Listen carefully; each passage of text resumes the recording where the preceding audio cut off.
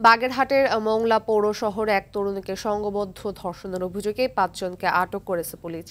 গাজীপুরের কোনাবাড়িতে তিন বছরের শিশুকে ধর্ষণের পর শ্বাসরোধ করে হত্যার ঘটনায় রুবেল ও সাজেদুল ইসলাম নামের দুই যুবককে গ্রেপ্তার করেছে পুলিশ। নরসিংদীর পলাশে এক মাদ্রাসা শিক্ষার্থীকে ধর্ষণ চেষ্টার অভিযোগে মাদ্রাসা শিক্ষক আব্দুর রহিমকে গ্রেপ্তার করেছে পুলিশ।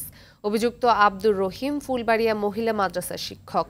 রাঙামাটির লংদুতে গলায় ফাঁস দিয়ে আত্মহত্যা করা জেসমিন আক্তারের অভিযুক্ত প্রেমিক ফরহাদকে গ্রেপ্তার করেছে পুলিশ। এদিকে নড়াইলে গাড়ি পোড়ানো ও চাঁদাবাজির মামলায় সিঙ্গা সোরপুর ইউনিয়নের সাবেক চেয়ারম্যান উজ্জ্বল শেখ ও তার এক সহযোগীকে জেল হাজতে পাঠিয়েছে আদালত।